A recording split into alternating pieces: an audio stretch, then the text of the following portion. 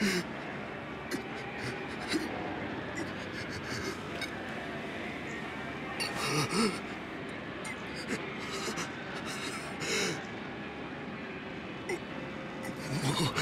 やめてくれもう。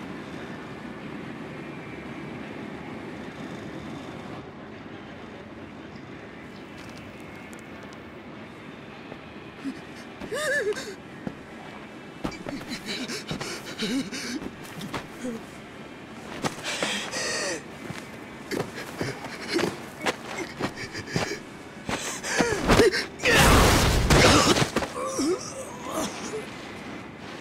ごめんなさいごめんなさい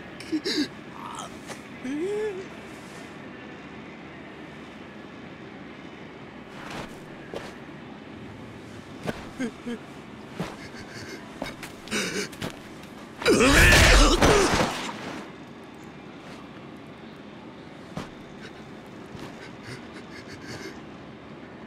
の町で喧嘩売んならちゃんと相手を選べ。大金持ち歩いてる時は特にな。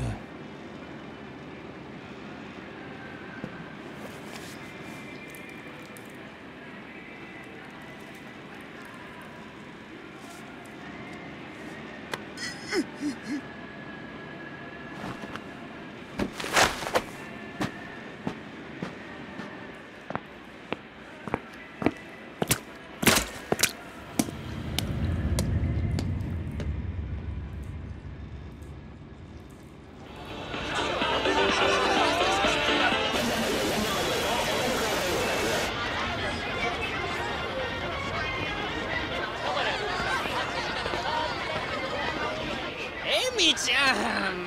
まだいいじゃん。こんな時間さすびら切ったってタクシー捕まんないんだから。やだもういいから宅代出してよ。あじゃあさプラザのスイートでも取るよ。だから俺と朝まで。ねね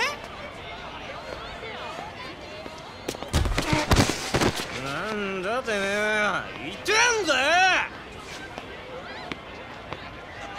おいちょっと待てよこれ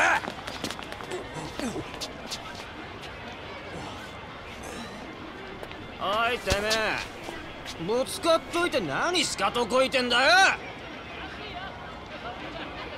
ちゃんと謝れっつんだよ。土下座しろ土下座。おいよしよよせ。あ？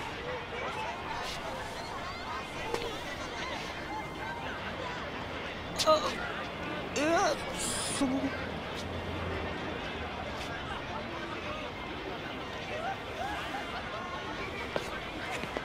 どうもすみませんでした。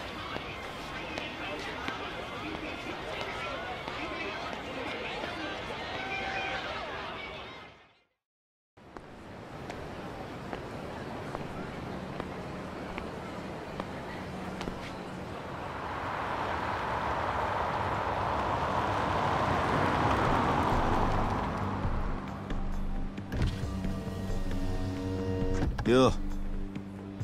頼んでおいた仕事どう？終わりました。ちょっと封筒が。このままでいいっすか？そんなこと気にしないでいい。むき出しだろうが金は金だからね。堂島組さんは仕事早くて助かるよ。はいこれ。約束の1割。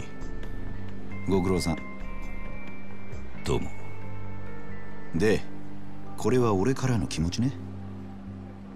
いやそれは。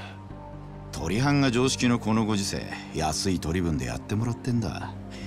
普通なら本職の人にこんな安い額の取り立て頼めないからね。でも。同年代のガキどもが万札ちらつかせてタクシー乗る時代に本職の君が金もないんじゃ様になんねえだろまこれは俺との初仕事を終えたご祝儀みたいなもんだ。は 取っとき。ありがとうございます。しかしバカに金貸しちまうと後が面倒でしょうがねえな。30万ポッチ捨てんのは簡単だが回収しとかねえと商売としてのけじめがつかねえ。なあ。ええまあ俺も長いことこの町で金貸しやってるからよくわかる。今の世の中金の本当の価値が分かってるやつなんてほとんどいやしない。その点学のない君の方が高学歴の若造よりよっぽど分かってる気がするんだけど。そうじゃない？俺には分かりません。それじゃこれで。